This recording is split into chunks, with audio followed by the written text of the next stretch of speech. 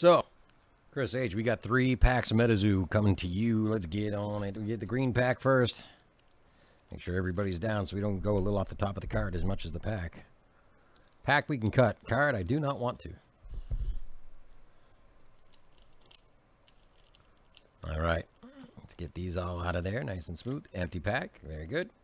Starting out with Axe Handle Hound, Ludwig, Poltergeist, Tribal War Cry, Bloody Bones, Spooky Kite, Veggie Man, and up next, Born from the Earth, Full Holo. That is the third of those today. I love this card.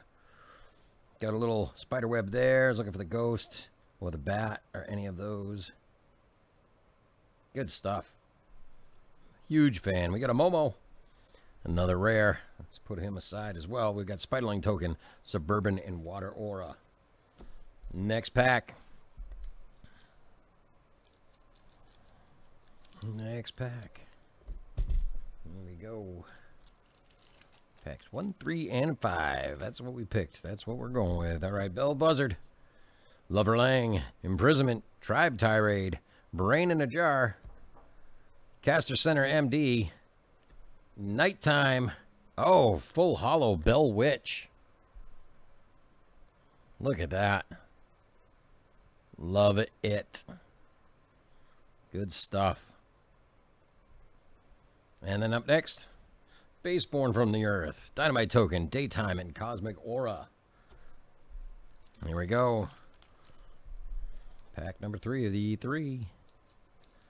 Three of three.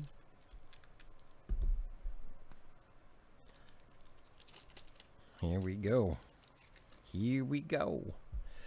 Dark Lightning Orb, Lover Lang again, Imprisonment, Jack-O-Lantern, Graveyard Mud, Sinister Shadows, Dampen, and then Full Holo Potion Seller. Oh, big, big fan. Spiderweb there. Looking for all the little symbols I can find. Sometimes it's not that easy. Giving it a quick peek. Once over, I see a couple spiderwebs actually. Very nice. And behind that, Boil Over. Zombie Token, Dawn, and Dark Order finished off those packs. Thank you, Chris H.